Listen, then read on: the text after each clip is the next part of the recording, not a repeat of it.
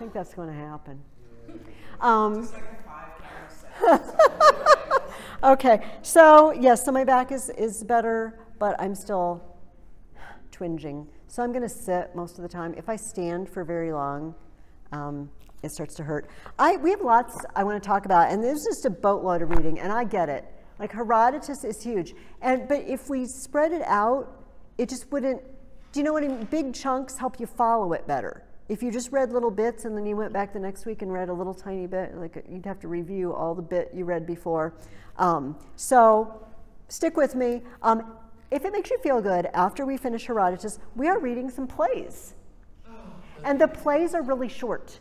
Now, I have a couple of weeks when I'm having you read more than one play, but never more than two plays. And honestly, I can read these in one sitting. Like you get you get your tea and you sit down for a couple of hours and you read the play because there's no place to stop. Do you know what I mean? It's not like Shakespeare plays where there's act 1, act 2, act 3, it's just boom, it just goes all the way through.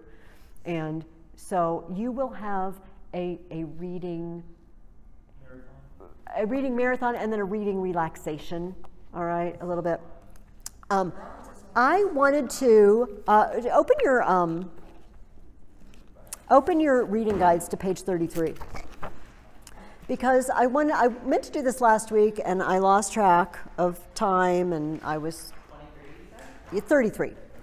Um, I wanted to go over this outline with you. Some of these people you met in your Herodotus reading, um, but I told you uh, a couple weeks ago we did that outline about the Archaic Age in Greece, and I told you that um, one of the things that happened during the Archaic Age was uh, moving around and um, uh, colonizing Asia Minor and the toe and the boot of Italy and North Africa and all the way to Spain and, and southern France. Uh, but the other thing that happened during that period was developing these city states in Greece to be what they were going to be, what this idea we have of them. So Sparta becoming a military state, and the lawgivers that came and set that up, and Athens becoming a democracy.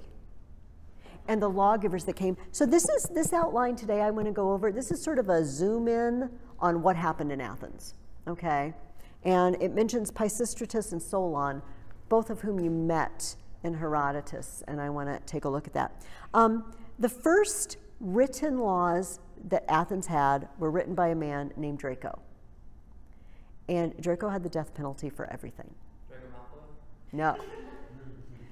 Um, although just as mean, it sounds like, or possibly even meaner, um, because if you if you steal a loaf of bread, death penalty. If you murder someone, death penalty.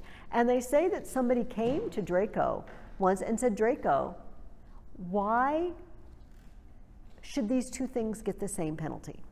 And he said, if you steal a loaf of bread, you deserve to die. If you murder someone, you deserve worse than that, but I can't think of anything worse to do to you. Nice.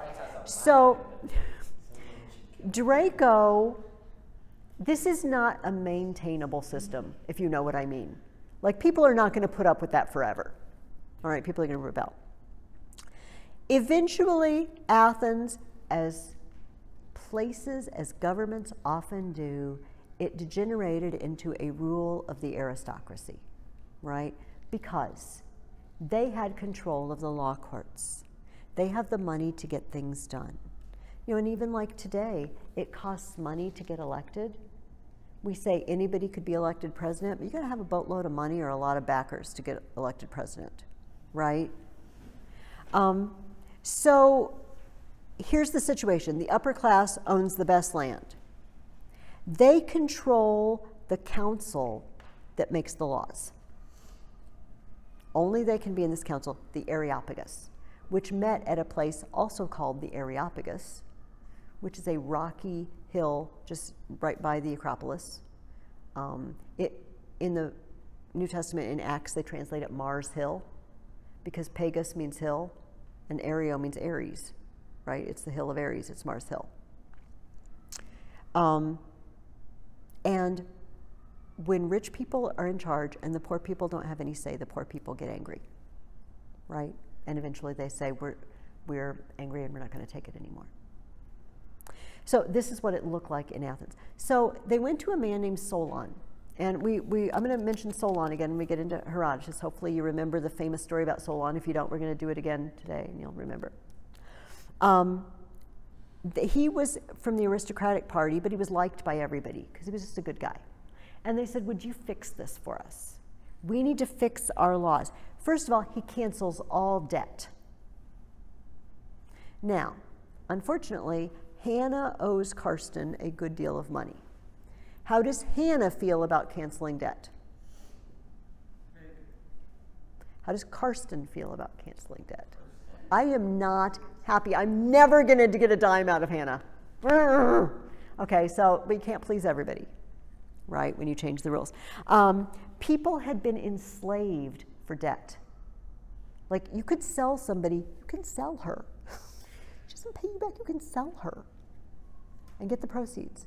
Solon set them all free. Yeah, Gabby.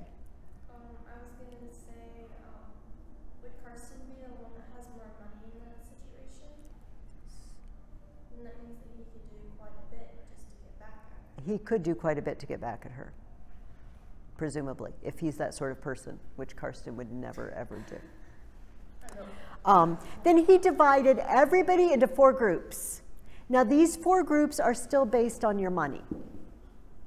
But instead of just rich and poor, we're going to have four groups. Groups number one and two, they can be in that council in the Areopagus. They can decide which laws should be considered. All right, so top two class. Third class gets a council to like set the agenda for the Areopagus.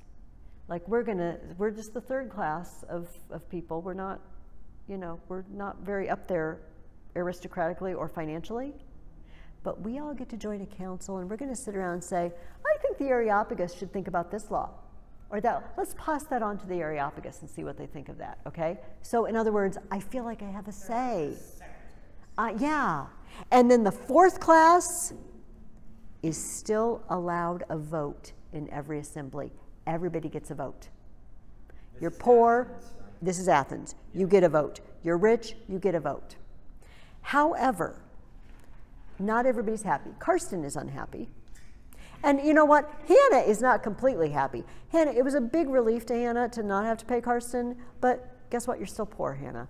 I'm sorry. You're still poor. Someone's not giving you anything. You are still poor. And Karsten is still rich, and you get a vote, but your life still stinks. I'm sorry, I'm sorry to report this. Um, also, um, something else uh, happened, and it is this. So, this is nice because we have three tables. All right. So, you're all Athenian citizens.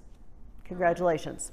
However, now remember, Athens was not just the town of Athens. Athens is the surrounding countryside, like the farms. Those people are Athenians too. And they only live a couple of miles outside of town. So whenever we have a vote, they can just stroll into town and vote and stroll back to their farm. It's not like it's a long distance, okay? But these, this table, they live in the mountains. Congratulations. You guys live by the seashore. You guys live in the city. Okay? Now, I want you to think about this. Do all three tables have all exactly the same concerns? Like legal concerns, life concerns? No. You guys, mountain goat invasion. Like it's serious, the mountain goat problem in the, I don't even know if there are mountain goats in Greece, but get, you, you are dealing with, you know, uh, avalanches, all right, avalanche and goats. And this is on your agenda. Like, I think we should have more laws concerning mountain goats and avalanches. You guys are by the shore. You know, you don't like the tides. They wreck all your sandcastles. I'm being very silly.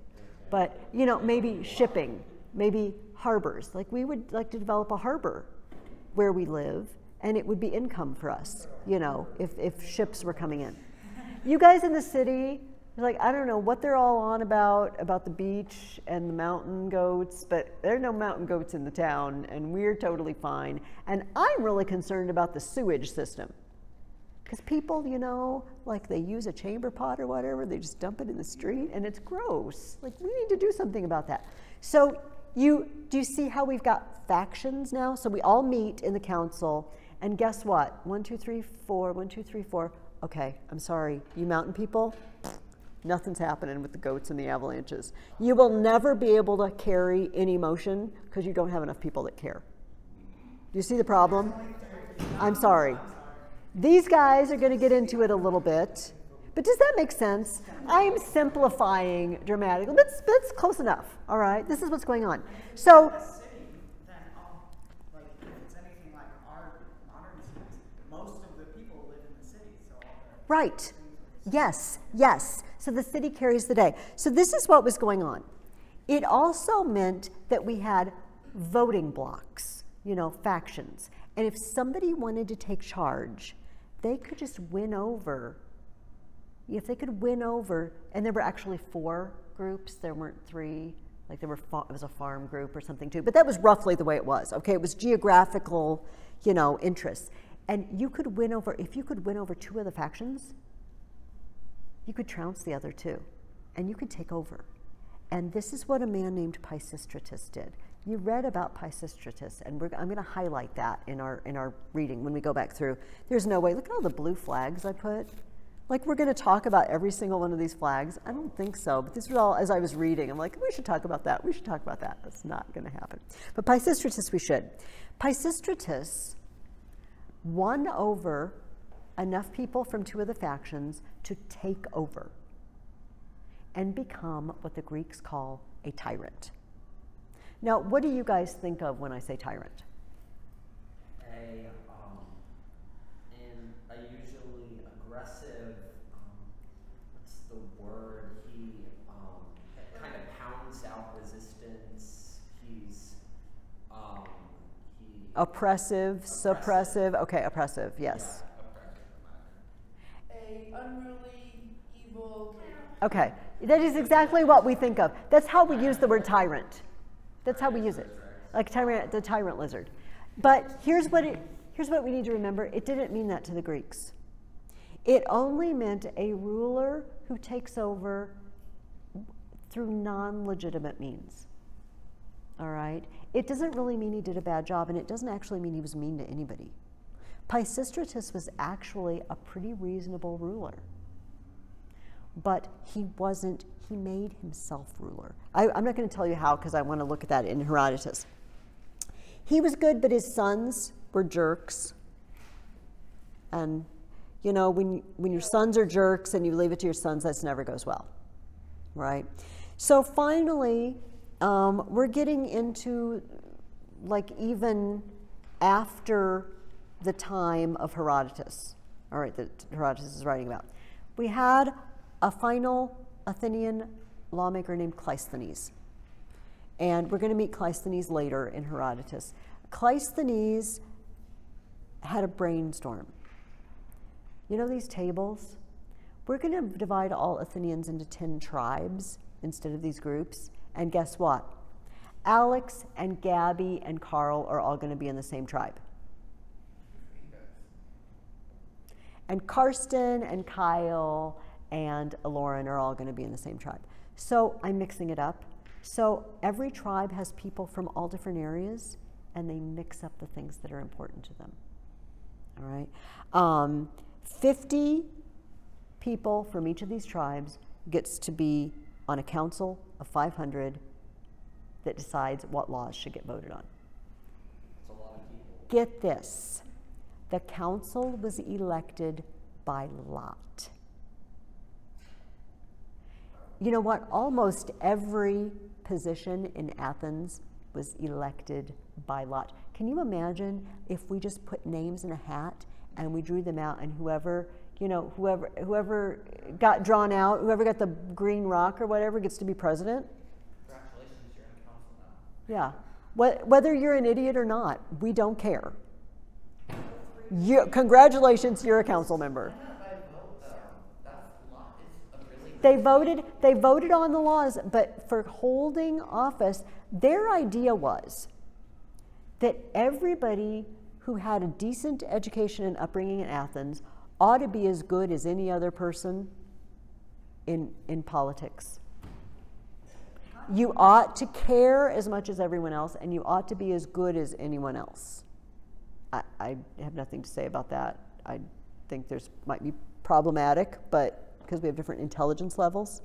But yeah, Ethan, that's kind of risky. It is risky. you don't know who you're gonna get. Oh yeah, yeah, it's risky. I don't think that that's a great idea. And for such a, for such an important city like Athens, Athens is extremely important. Well, I think may, we might get some some insight. Um, so I'm reading a bunch about Rome right now because I'm making one of these for Rome for next year. All right, I'm, I'm just reading. So I've been spending a lot of time with Rome, which kind of like I'm split personality now because I come here and I talk about Greece and then I go home and I read about Rome.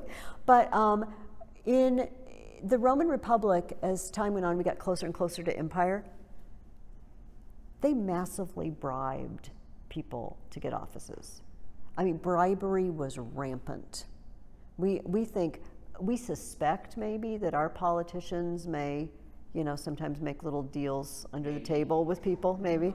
But it was just out in the open. It was like I go outside the city and I set up a table loaded with cash and people just line up and I pay them to vote. Like I'm not even hiding it.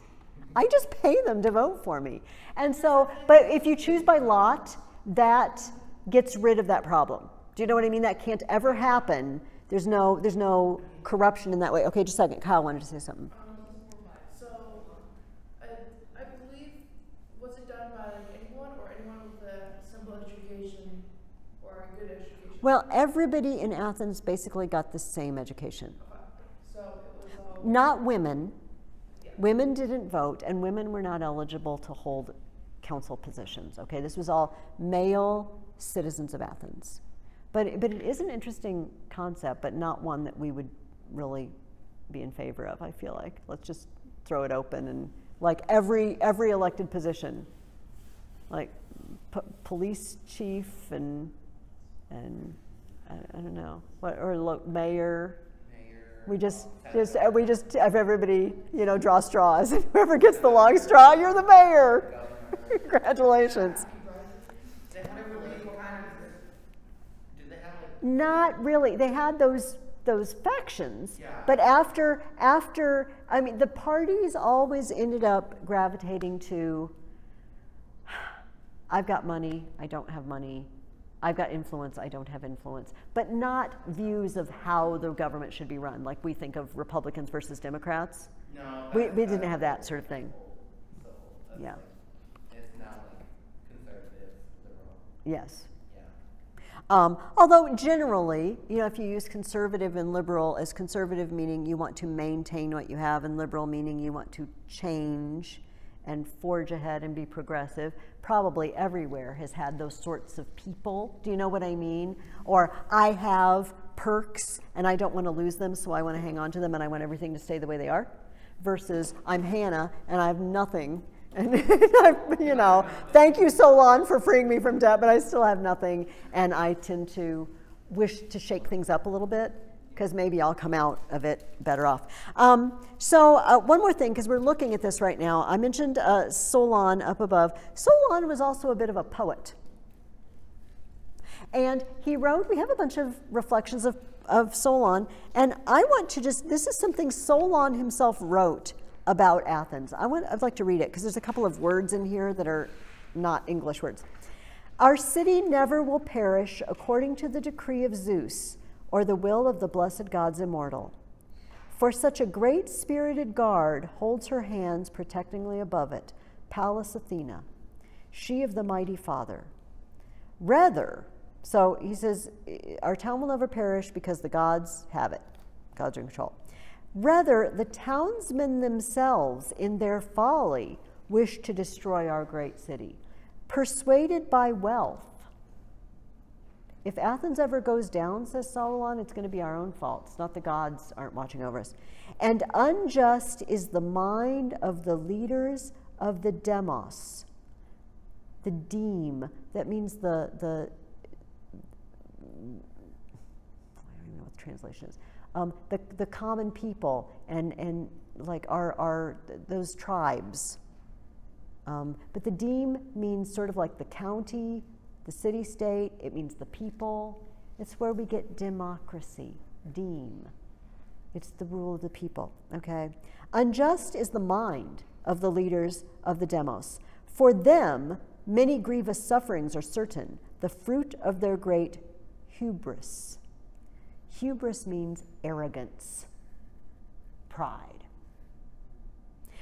For they do not know how to suppress koros. Koros means greed, insatiable desire for stuff. Yes, yes. Or how to conduct the present joys of their feasting in decorous fashion. They get carried away with their feasting. Decoration. Yes. But instead, they grow rich, putting their trust in unjust deeds. This almost sounds like it could be uh, one of the prophets of the Old Testament saying, the, the people are unjust. They oppress the poor. They feast and they don't pay attention to what's just. And it's going to come back to bite them. That's what Solon had to say. Um, so let's dive in. Oh, we've got some art of the week. And then we're going to start just, we're going to see how far we get into Herodotus. We are obviously, I hope this is obvious to you, we're not going to be discussing every single story in Herodotus and every single thing he says because we can't. But I would like to guide you through it and highlight some things that I think are most important. But first, I would like to show you a couple of pictures. I'm trying to decide if I will be able to bend over. I may have to have somebody, and I'm going to throw this at the table on the floor. No, later I'm going to want it. Okay. So, at the, oh, what have I lost? One of my little clips. Okay.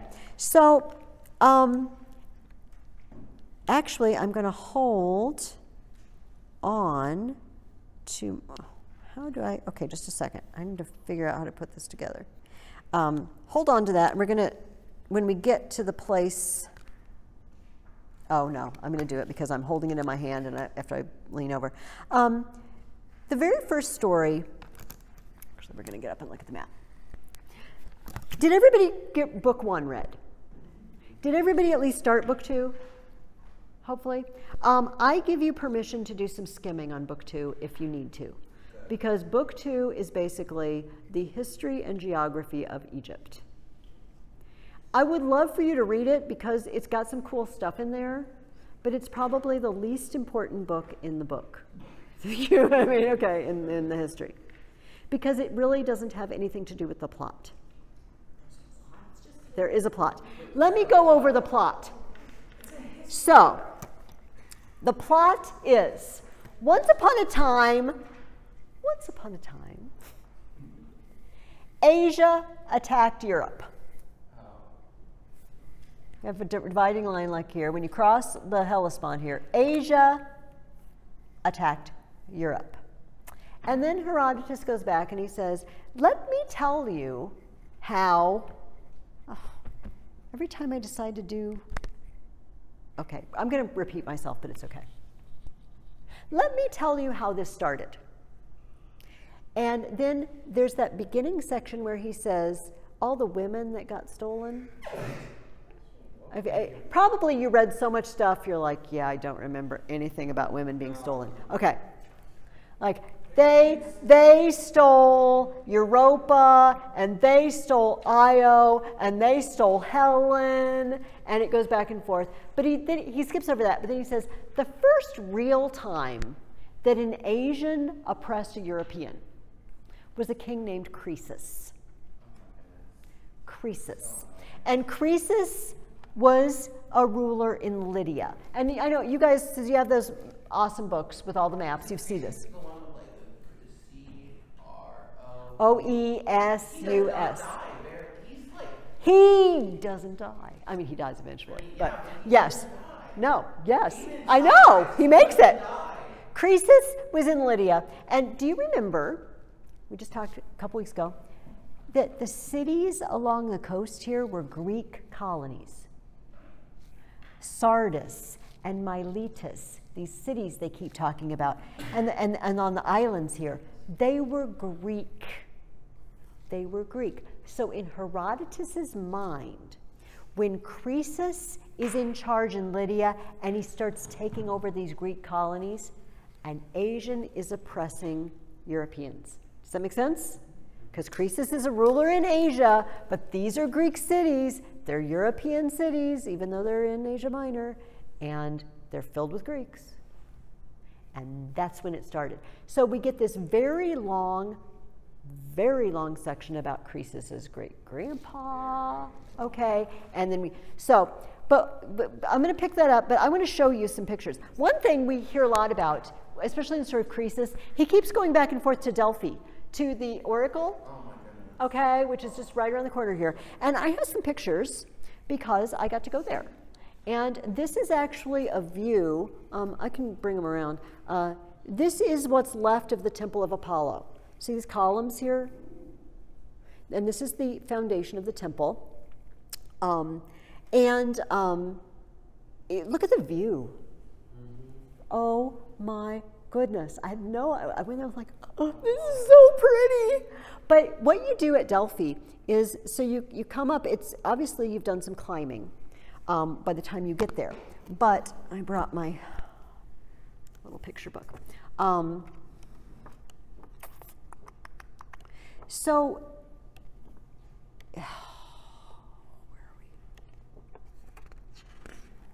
where are we? Really? Okay. Um, did I not put it in here? I brought this book and I didn't even. Oh well, I'll lay this out later. I can show you. Um, you you wind up the hill. It's one of these. You're on the side of a mountain and the path goes like this. Do you know what I mean? Because if it was straight up, he'd kill you. And uh, so you go back and forth, and each path has stuff on it. So you go up and you go past the, the, the temple, and then you go around, and there's a building which I thought was in that book, and it's the treasury of the Athenians. It talked in the in Herodotus talks about, and he put it in the treasury of the Corinthians or the treasury, whatever. So when something, when you consult the oracle, and then something good happens, you give it a present. So Croesus was giving all sorts of golden bowls and tripods and things. He was sending it to the oracle because they said, if you attack Persia, a mighty empire will fall. And he's like, without asking which empire, he's like, yeah, let's do it. And I'm going to send presents. And they had buildings. They look like little temples constructed that they put the gifts in from various cities. And the temple and the treasury of the Athenians is still there. It's still standing. What were you going to say? I, um, here on page eleven, um, we see the weight of the talents, Yes. and he was just giving away so, Oh, yes. so much gold and so much silver. I was reading That is. No, it, it's, it's enormous, enormous amounts. So the attic talent, 57 pounds. I mean, if you gave a bowl of one talent, a 57 pound solid gold bowl, are you kidding me? are they gonna use it for? What page is that on? Uh, that was on page 11, the very first footnote. The Attic talent had a weight of approximately 57 pounds. The, um, uh, they pronounce that word egnaton now, but I don't know. I think it's egnaton, I don't know, um, of about 82 pounds. We are not sure which one Herodotus refers to here. Seriously, yes. Um, so I marked, just a second, I've got to go back to my, all sorts of notes here. Um, it says that he left an offering. Oh, I'm pretty sure I marked it.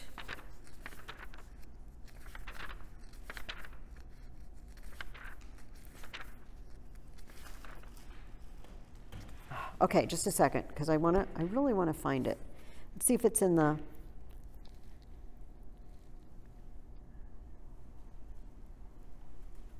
Okay, it's not under that. Okay, I, will- I will probably find it when we sit down, so I'm not going to waste our time. Um, it, it said he offered another offering to the temple of Athena Pronaia. And so um, on the bus trip, so you're going up the highway and you're going towards Delphi, and off you're, you're, I don't know, not even a mile away, all right, from the temple. There's off to the left side of the road, kind of down the hill, there's another temple, and it is this, this is what's left of it. Um, these three uh, circular, part of it was circular. Um, and it was a temple to Athena. So it was on the route that people from Athens would pass when they were going to Delphi. So you'd stop first. So I'm going to Delphi. All right, I'm from Athens. I'm going to Delphi, going to consult the oracle. First, I stop in here and give offerings to Athena here. And then I pass by a spring. It's called the Castalian Spring. And um, I purify myself. You know, I bathe and I wash my hands and everything. And you can still, the Castalian Spring isn't springing anymore, but it's still, the pit is there. And then you go address yourself to the, um, the oracle. Um, then, if you want to, you can follow up the path and you can visit the different treasuries. At the very top, I, you're not going to be able to see this, there's a, um, there's a theater. There's an actual theater built into the hill. And at the very, very top, there's a race course, like a running course, because they had, a, they had sporting events there. They had the Delphic Games, and they would hold them up there. So anyway, I just thought I'd bring. I will lay these out if you want to look at them later. Um, this is kind of cool. I, I, when I read this now, I have a picture in my mind of what we're looking at. So let's let's go through our questions. Okay, on page 35, the first thing I asked you is, what does Herodotus say is his purpose in writing this book? Why is he writing it, Alex? So that the events of man not fade over time. So we won't forget. You know, we talk about this, we, we have a political climate. I try not to be very political in here and talk about stuff like this, but you're probably aware that we have a climate where a lot of people are not fond of certain historical things and they want to tweak it or change it or, or remove it. But, um, and, and here's one that's not controversial at all. Um, it's not American, but remembering the Holocaust. All right?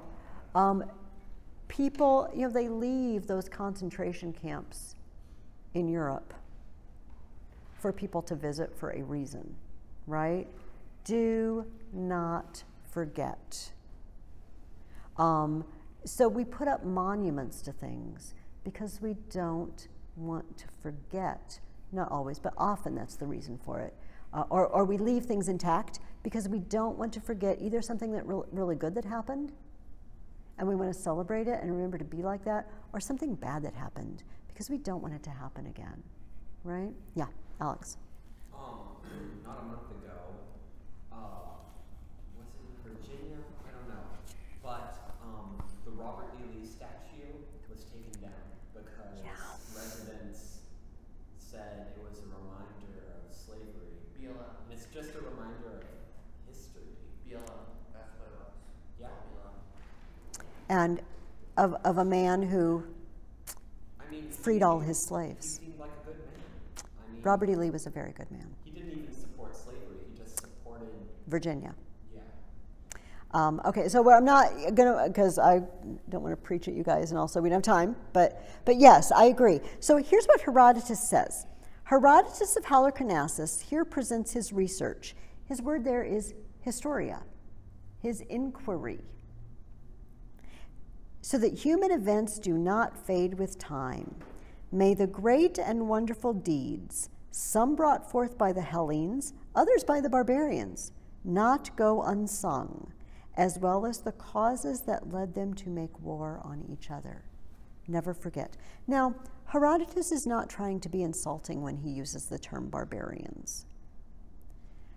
The world was divided into two, yeah. He means by barbarian as in just other not Greek. It's like Jew and Gentile. All right? Um, it, it- it's just the world is divided into two as far as the Greeks are concerned. You're Greek or you're not Greek. And if you're not Greek, you're barbarian. Yes. And they can, yes. And they, they weren't even necessarily uneducated. They just considered themselves the height, the height of that education, the height of culture. The Greek language, the height of human language. And, and, and the others weren't. They say that the reason they, that they called them barbarians was because they thought when they spoke, they just made a sound that was like bar, bar, bar, bar, bar. That's what it sounded like to them. I don't, I hear, I've read this many times. I'm not totally sure that it's true. But, you know, so I, you guys know I'm working on my Greek, and so they, in the context, like he's going to call the Persians barbarians, the barbarians in our war against the barbarians. But the Persians weren't necessarily barbaric. Do you know what I mean? Like the merry-go-round of death. Um, that we're going to talk about later. Um, so I guess I already answered this. Let me, okay, I'm just going to, if you guys don't mind um, me just sort of browsing through. Um, I, I, I want to read what he, he says about Homer. Um, he talks about Helen, and he says, These are the stories told by the Persians and Phoenicians about uh, Io and Europa and Helen and all of this. I myself have no intention of affirming that these events occurred thus or otherwise. But I do know who was the first man to begin unjust acts against the Hellenes. So he says, You know all that stuff about Europa and Io? I will neither confirm nor deny it. It's just not something I have information about. I'm just telling you what they say. But now I'm going to tell you what I know. And but pay attention when Herodotus says that. He's got a habit of saying, I don't know, that's just what they say. Especially in the Egypt book, book two. Like, yeah, that's what the priest told me in Egypt. I can neither confirm or deny this, but this is what they told me. And, and so he's upfront about it. I like that. I like that since he's our his first historian, he's our father of history, to be upfront and say, I heard this. I don't know if it's true. This is what they told me. But I didn't actually. Sometimes he'll say, I saw this with my own eyes. And then sometimes he'll say, Yeah, that's what they told me. I didn't see it. Yeah, Carson. On that note, um, what was hilarious was in the second book they're talking about why the Nile floods and recedes at different times than most other rivers, and he's like the like the stupidest explanation is snow runoff, and it's like, yeah, that one's actually correct. Yeah, that's that's that's closer to correct. Yeah, but yeah, that is funny. Again, the one that I consider the least sensible is. Um, I want to read just something else he says right after that comment. I shall describe uh, him, the person who first oppressed the Hellenes, Croesus. Uh, then proceed with the rest of my story, recounting cities, both lesser and greater. Listen to this. Since many of those that were great long ago have become inferior, and some that are great in my own time were inferior before. Herodotus says, You know what I've discovered in my travels and my researches? The great don't always stay great. A city that's great today maybe was nothing long ago. Maybe someday it will be nothing again, right? That there's an ebb and a flow in human events. And but any given time, if you live in a great city or a great country, you're like, well, it's always going to be this way. It's always been this way. It's always going to be this way. We're always going to be rich and powerful. And Herodotus says, no, we're not. Not necessarily. So I like I said, I already answered question two. For what event do the Persians blame? Oh, no, I, I alluded to it. For what event do the Persians blame the Hellenes for hostilities between the two people? What did you guys put for that question? The kidnapping of women, in particular, the kidnapping of Helen. Carson.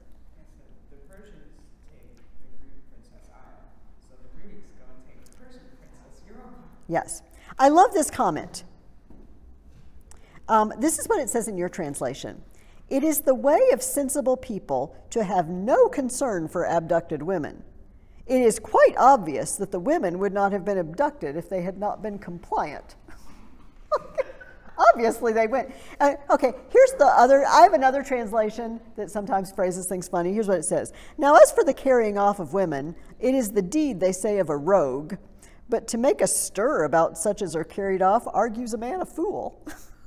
like, who would, who would care about abducted women? they wanted to go. They obviously wanted to go. Um, yes. Okay. So then we go to Croesus. Um, and we have the story of Croesus. And we, we go back in time because, and let me show you why we're going back in time. I'm, okay, I'm going to have to just tell you some things. You're going to have to trust me because if I go back and forth, it's going to be half our time if I try to find stuff in here. We hear the story of um, uh, Candaules and Gyges. Candaules is the guy who thinks his wife is so pretty that everybody should see her naked. Oh my goodness, that was such a bad story. All right, this is actually uh, the my my son, the one who called it the merry-go-round of death, still quotes this, um, and he and it says um, about this that he fell in love. Uh, this Candaules fell in love with his own wife, and being in love, thought he had the most beautiful of all women. And it says in my other translation, this fancy had strange consequences. my son often quotes that. This fancy had strange consequences. Um, so he, he, tricks this guy into seeing her naked, and then she knows it, and she's like, "Now you got to murder my husband because you." So anyway, the Gyges is Croesus's great grandpa because he he got to be king, but he was cursed that he would only have four generations of rulers because he took the rule by murdering his former master, right? That's why Herodotus is telling us this, because Croesus is the fourth generation. They've run out their, their, their generations. Um, so the story says this is our friend Solon. Solon, when he um, redid Athens' laws, people kept. Solon, why'd you make this law? Solon, don't you think you should change that? Solon, and finally Solon said, you know, I'm going to go on a little vacation, and I'm going to be gone 10 years. And I, you've got to promise not to change anything for 10 years. Let it, let the new law system sort of run for a while. And then I'll come back and we'll see how it's going. And then, if you want to knock, and you know, we'll talk about it. So he traveled all around, and one of the places they say he went was Lydia, and he visited Croesus. Do you remember? I asked you, what lesson did Solon try to teach Croesus? Lay it on me, Carson. Yes. Um, do you want to be more specific? Alex, tell me the story. I don't disagree with that, yes. The lesson of happiness through circumstances of this world. Don't look for happiness until you know the end of the story, right? Happiness is fickle. So Croesus shows him all his stuff. And if this guy's making 57, 82 pound bowls to send to Delphi, some cash, some serious cash. And see all my stuff, Solon? Isn't it awesome? So, have you ever seen anyone happier than me? Yeah. There's this there's this these two brothers and once upon a time their mom was a priestess and the oxen were sick or whatever and so they they took her in a cart to the festival and cuz they're such good sons and they were awesome and their mom prayed to the goddess, "Oh, give my sons a wonderful reward." And so they just died. They just died peacefully right then while they were at the top of their fame and nothing bad could happen. And uh, so you're Croesus and you're listening to this story. Well, is there anybody else? Uh, actually, that might have been the second one. I think the, fir- uh, the first one was, oh, there's this guy, and he was, he was a really good guy, and he, he had a nice family, and he went out to fight for his country, and he died nobly on the battlefield. And Croesus finally loses it. Solon, you're a jerk. Newsflash, look around you. Have you not noticed my kingdom? Solon's like, ah. But you never know what's going to happen in the future. And you're doing well right now, but you never, ever know what might happen. I, it's got to be one of my blue flags. Wouldn't you think I would flag that? Um, oh, I'm never going to. Okay, I'm, we're just going to. I'm just going to finish the story. I'm not going to try to find it because I don't want to lose this story. Um, so, fast forwarding, Croesus, after consulting the oracle, who said, Yes, if you attack the Persians, a mighty empire will fall. Yay, let's, let's do it. He attacks, he attacks, and Cyrus the Persian comes back and says, er, no, you're not going to do that. Has him on a pyre to burn him alive with like sacrifices down below. And he's he hears him, oh Solon, oh Solon. And Cyrus like, what is he talking about? Would you go ask him what he's talking about? Like, oh Solon. They get him off the pyre, like it's already lit. They have some trouble, like getting him because it's on fire, you know? Tell me about Solon. He tells the story. Now I know that Solon was the wisest man I ever met because I was once on the top of the world and now I'm a prisoner. Cyrus loved this story loved it so much, as Ethan pointed out, didn't execute him. In fact, made him his advisor, and, and Croesus just went traveling around with the Persian king. Even after Cyrus dies, his son Cambyses, he, he, he goes around with him. Awesome. I feel like there's a lesson there. If you're ever about to be executed, Just call out Solon. just call out Solon's name, and no, that is not, that's probably not going to work. A, don't do anything to cause you to get executed. But um, so in, um, I'm in book one, uh, paragraph 59. In your, in your uh, version, it's, it's page 33. Um, he goes back and he talks about Pisistratus, the guy we just talked about. That Because now, here's, here's Herodotus's mind. There's, there's Asia versus Europe. How did this start? We stole women.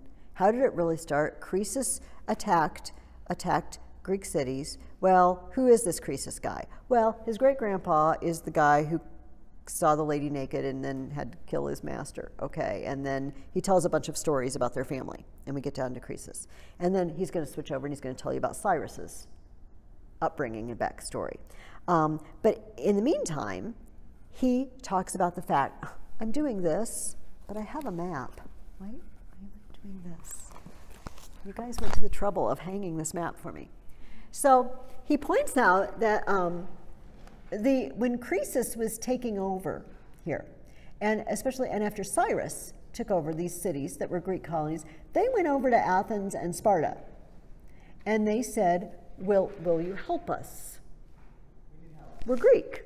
We're Greek. We need help." And the Persians, uh, the Lydians, Croesus, these people are oppressing us. Will you come help your fellow Greeks? Which makes uh, Herodotus take another digression to tell us all about Athens. He says, Well, then, of these two peoples, Croesus learned that those in Attica, that's Athens, were currently being oppressed and divided in political strife by Pisistratus, son of Hippocrates, who was ruling Athens as a tyrant at the time.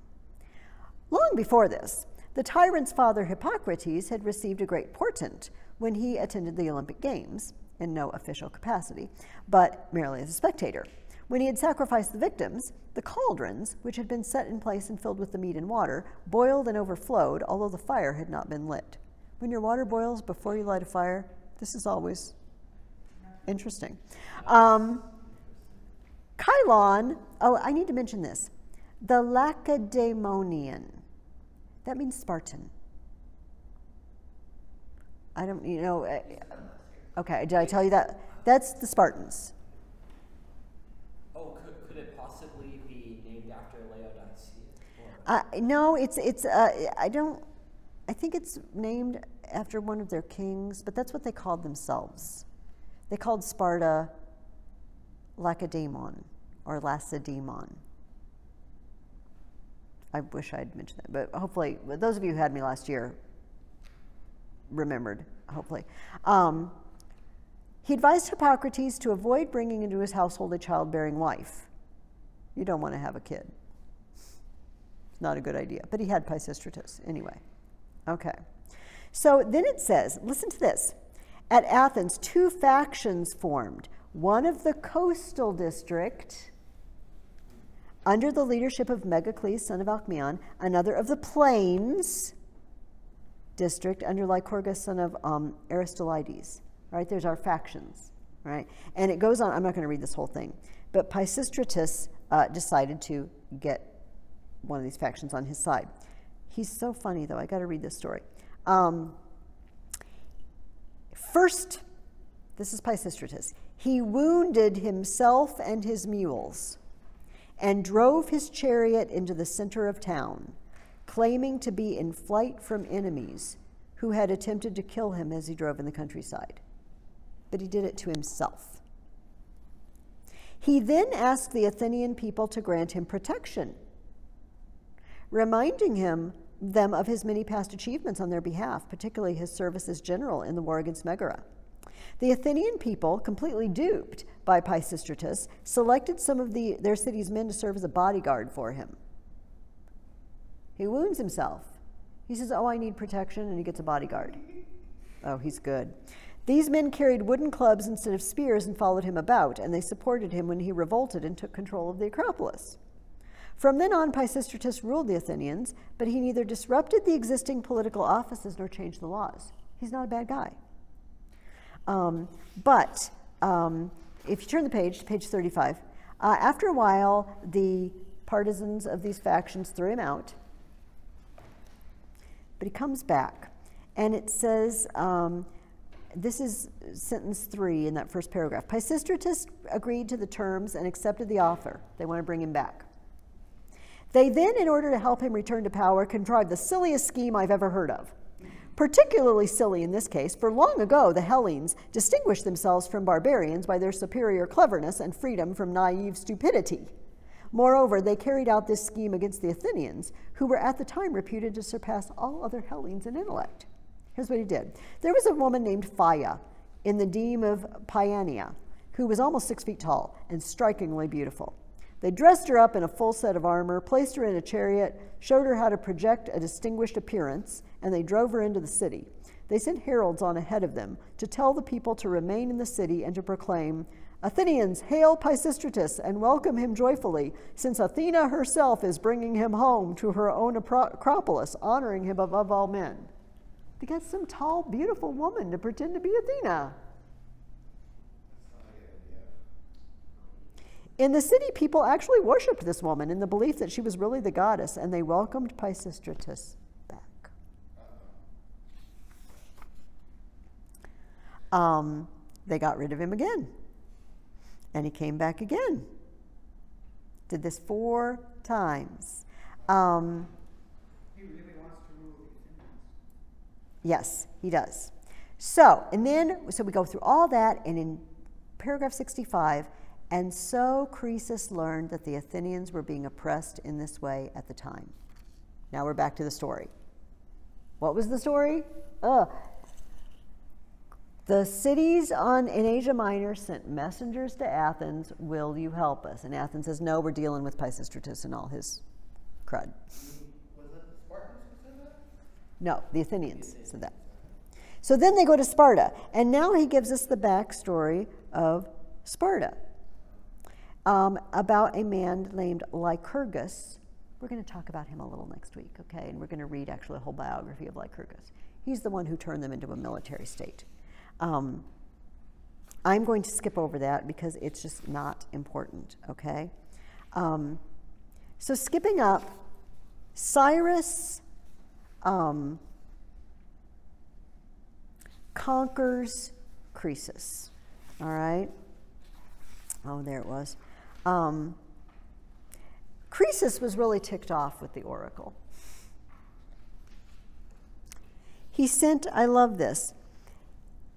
Croesus was able to send some Lydians to Delphi with orders to place shackles at the temple's threshold and ask the god if he was not at all ashamed that his oracle had encouraged Croesus to make war on the Persians with the goal of ending Cyrus's power, from which venture, however, the only victory offerings Croesus could dedicate were these shackles.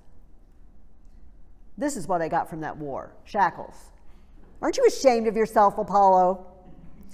And he instructed them, as they said these words, to point to the shackles and ask if the Hellenic gods were habitually ungrateful. When the Lydians arrived and carried out their orders, the Pythia, who is the priestess who gives the message, is said to have replied Fated destiny is impossible to avoid even for a god. Croesus had to atone for the wrong of his ancestor four generations ago. This ancestor was a bodyguard for his king of the family line of the Heraclids. In other words, they were descendants of Heracles. He was induced by a trick involving a woman to kill his master and usurp for himself a position that did not belong to him.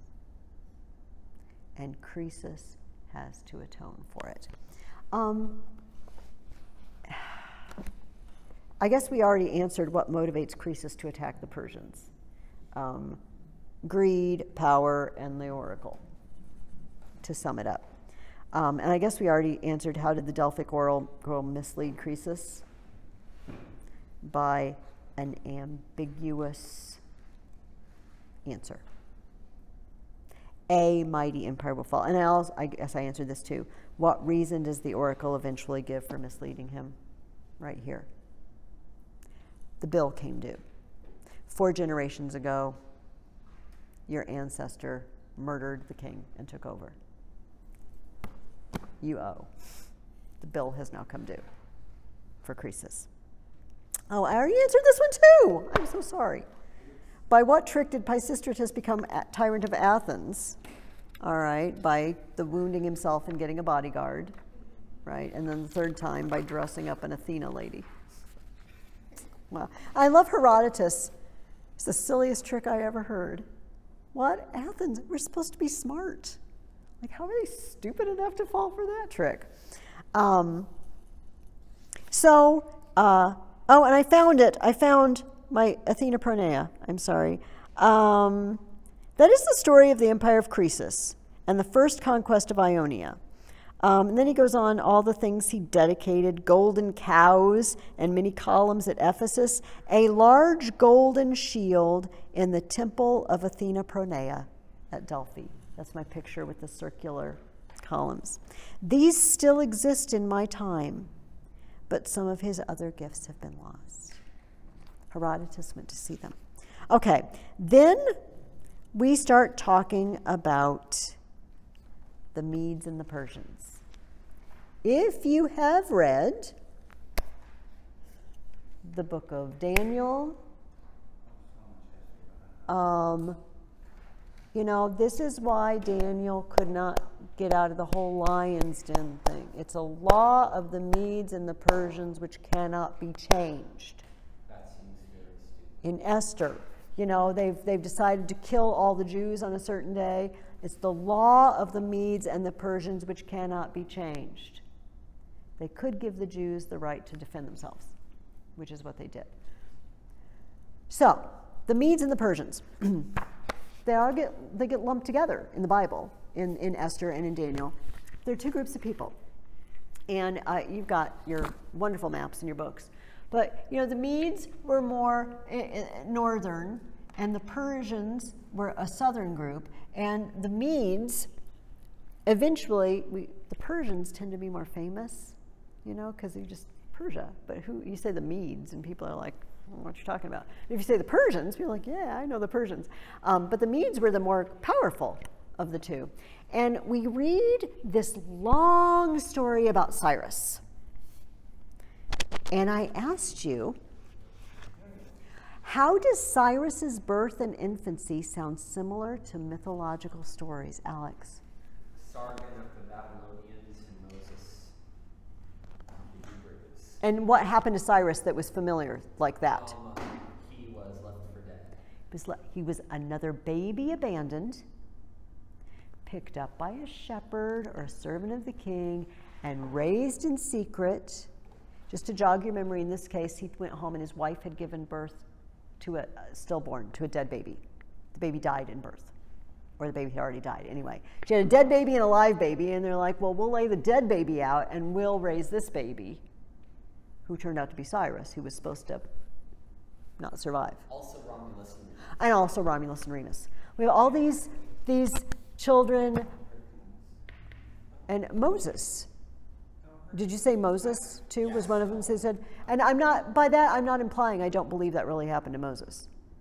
I'm not implying I don't believe it's historically accurate, but it is it's it's legendary in a sense of it sounds like a legendary story. It's it's got that ring to it. I don't know that this didn't happen to Cyrus but it's got that ring to it. So Herodotus is already setting us up for Cyrus being like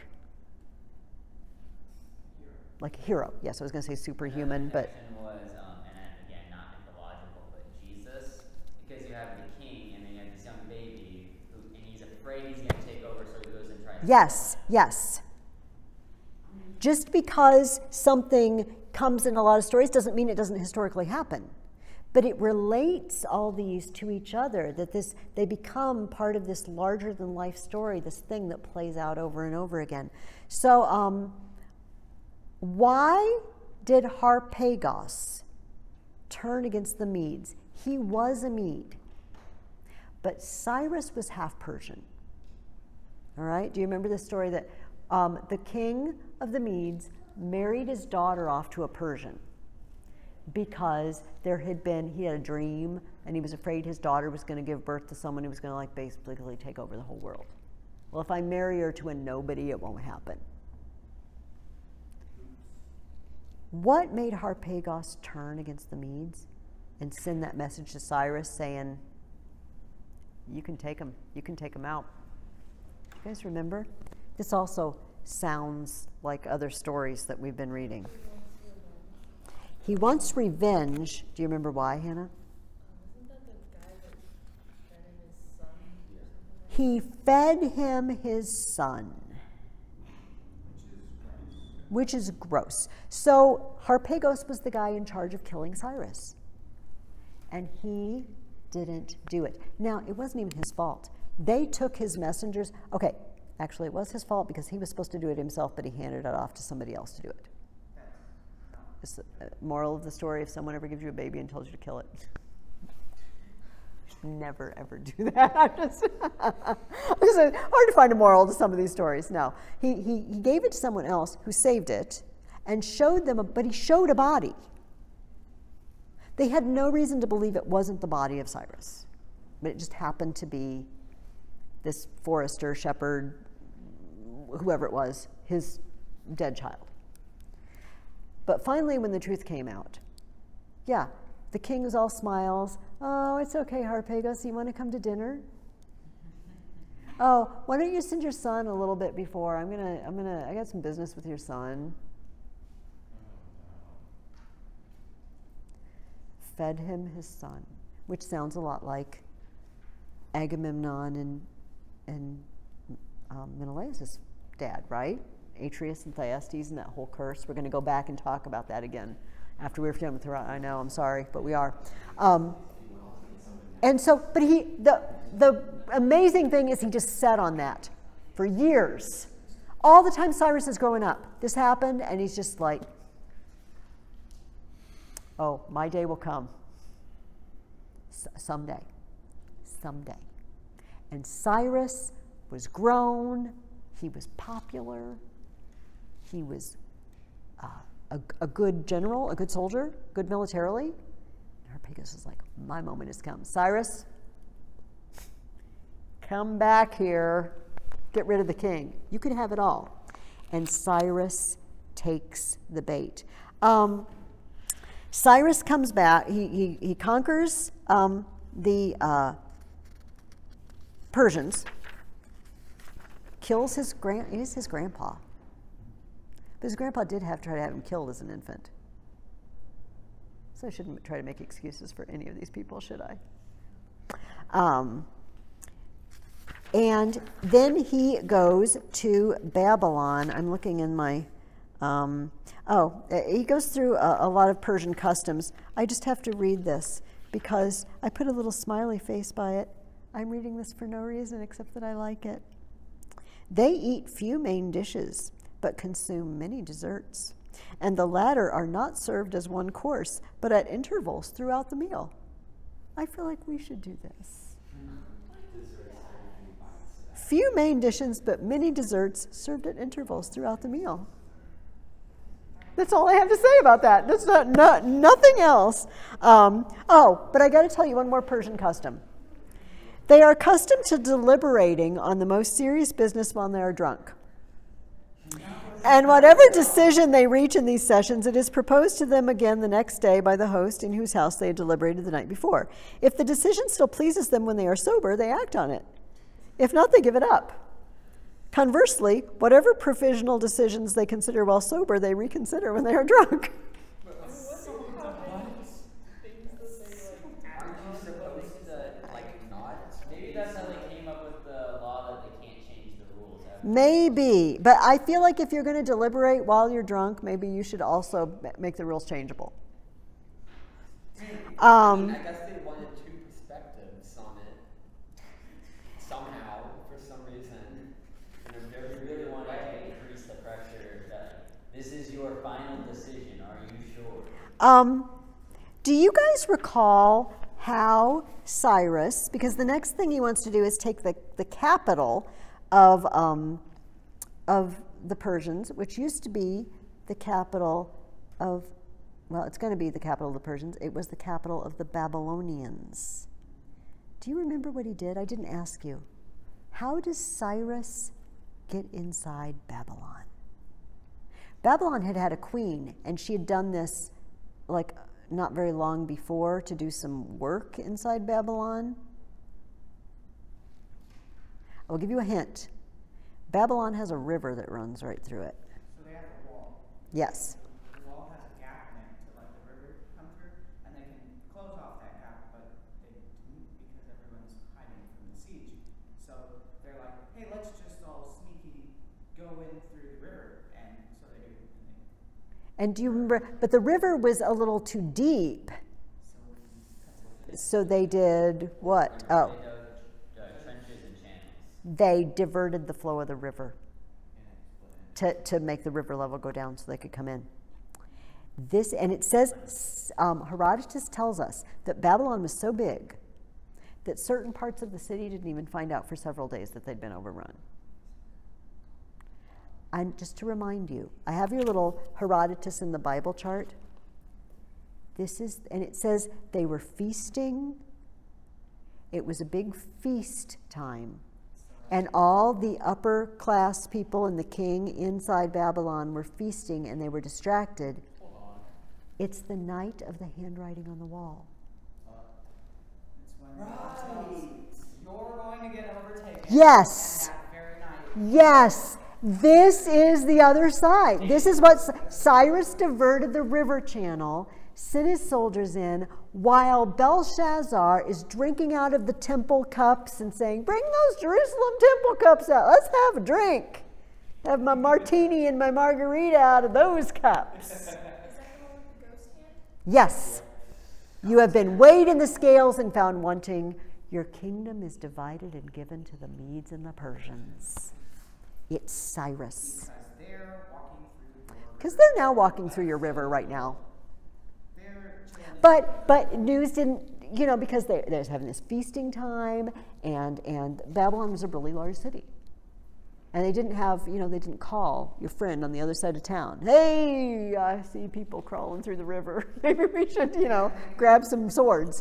It was big enough that they could, like, the river was large enough that they could just like have a bridge over it, and if they took out all the pieces for the road, you couldn't get to the other side. Yes, and that's what that queen did a couple of generation a generation before. She diverted the river because people were ticked off. You had to take a ferry across, and so they made uh, uh, walls on both sides, and they put planks across during the day. So they had a bridge during the day, and they removed it at night So that nobody could could go across. But, which doesn't prevent neighbors from robbing, robbing each other. It just prevents people from. Yes, Like if, if you were invaded, it would. And also, it did say. I think Herodotus says it's also to to crack down on crime or something at night. Um, uh, let's let's look at this last question. Uh, when Cyrus was angry with the, I'm going to say Gyndes River. I don't know that I necessarily pronounced things correctly. How did he punish it? He split it into like hundreds of little channels and like, guess what? People are just going to walk over you now. And I asked you, what kind of person does this reveal him to be? Impul- impulsive. A little impulsive. Doesn't really. He, yeah, he's. He, we're going to meet other Persian kings that do this sort of thing. Um, so he, he conquers Babylon, and then he goes up in the area of the Caspian Sea. All right, so he's he's taken. Here's Babylon. He's taken Asia Minor, and he's he's moving because it's just. I don't know what the drive is. We're going to take over more and more and more and more. You recall it was up here. Um, it was actually off the map here on this side that he's going to meet the the queen who says, "Do you want me to come across the river, or you come across?" And Croesus gave him advice, but Cyrus ended up dying in that battle, and um, his son Cambyses took over. Um, and that takes us to book two because Cambyses now wants to attack Egypt. Next, next campaign is going to be Egypt, and he's still got Croesus with him, giving him advice. Um, I gotta, I gotta mention this. Um, I was going to ask you a question about this, but I decided not to. I, will just read this. He's talking about um, some of the habits of the people in the area of the Caspian Sea. This is on page 109. Um, they have also discovered other trees bearing fruit, which they use when they gather together in groups. They sit in a circle around a fire and throw this fruit into it, inhaling the fumes as the fruit burns. They then become intoxicated by the vapors, just as the Hellenes become intoxicated with wine. They add more of the fruit to the fire and become even more intoxicated until they reach a point where they stand up and begin to sing and dance. This, then, is said to be their way of life. What are they doing? They're getting. They're getting high.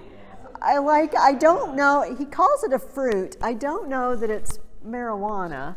I don't know what it is, but there's some sort of plant they're throwing on the fire and they're smoking it. They're smoking it. There's, you know, Solomon says in Ecclesiastes, there's nothing new under the sun. Okay, there is nothing new under the sun. Um, I just, I had no reason to mention that except that I thought it was funny and interesting. Um, uh, I want to make, let, let me just go through real quick some of my tabs, things I wanted to mention.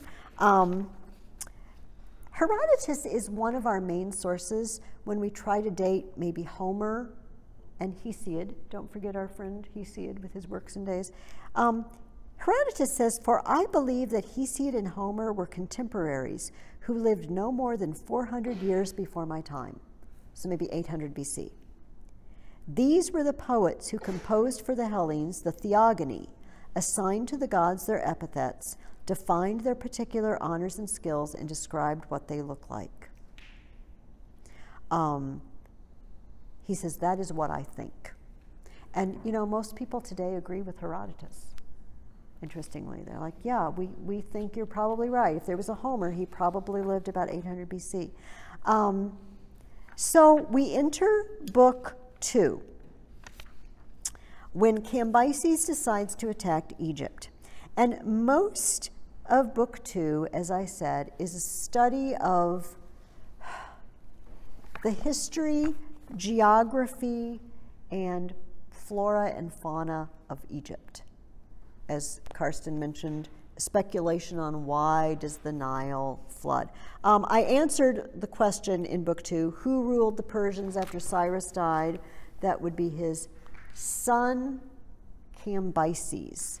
Um, did anybody get to what time marking scheme did the Egyptians originate? Yeah. 12 month calendar. 12 month calendar. Um, and uh, flying snakes. Did you get to the flying snakes? Oh, yeah. Those were weird. Um, so he says, let me see if I can find. Does anybody, do you, did anybody mark? See, I have so many flags. Oh, here, winged serpent. There's a place in Arabia somewhat near the city of Bouto, and I went to this site in order to learn about the winged serpents. When I arrived there, I saw the bones and spines of serpents in such huge quantities as to beggar description.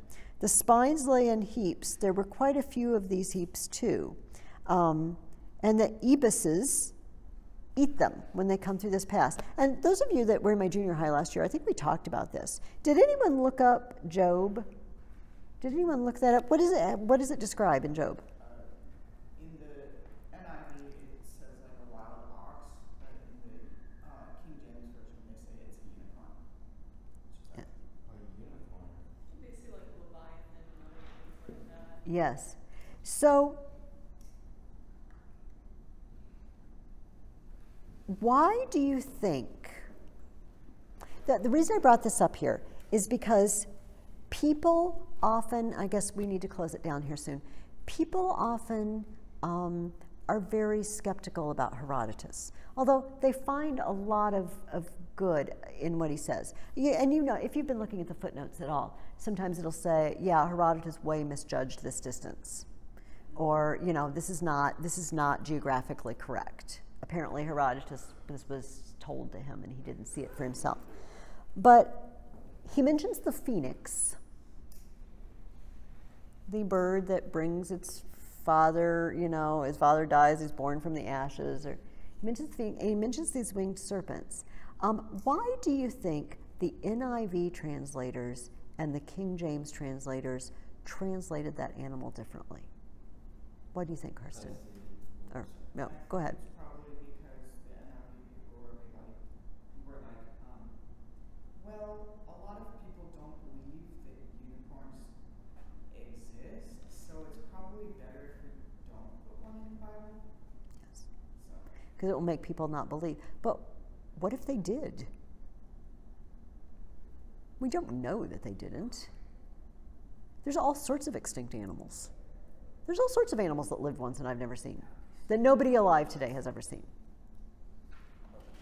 So for me to sit here and say, Herodotus, even though he says this, the place where the bones lay is at a narrow mountain pass leading onto a vast plain. Um, he says, When I arrived there, I saw. And I'm going to sit here 2,500 years later and say, No, you didn't. Because there's no winged serpents. I don't know what you're thinking about. You know what I mean? He says he saw it, and I have no reason to disagree with Herodotus.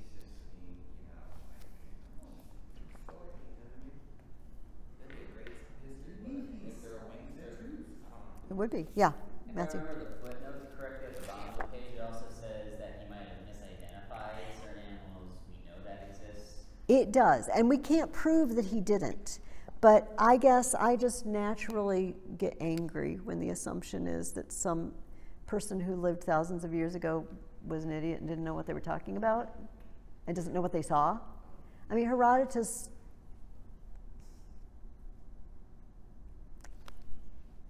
has traveled and is well read and has done all this research. Do you know what I mean? But he does mention the phoenix and he does mention the winged serpents. I don't know.